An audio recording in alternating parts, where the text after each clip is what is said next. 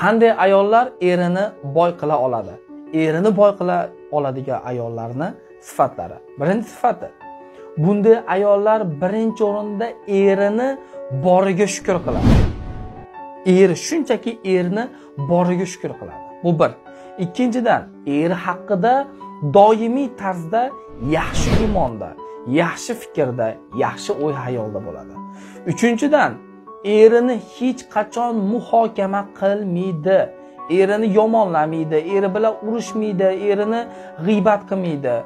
Va to'rtinchidan esa erini topgan puliga shukronalik keltiradi. Qancha pul topsa ham minnatdor bo'ladi doimiy tarzda.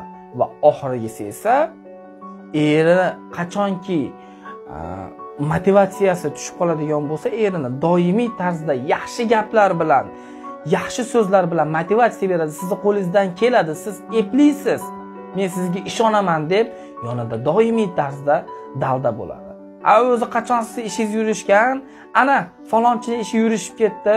Sizni ishingiz hali ham o'xshamayapti degan zahoti siz eringizni ruhan cho'ktirishni boshlaysiz.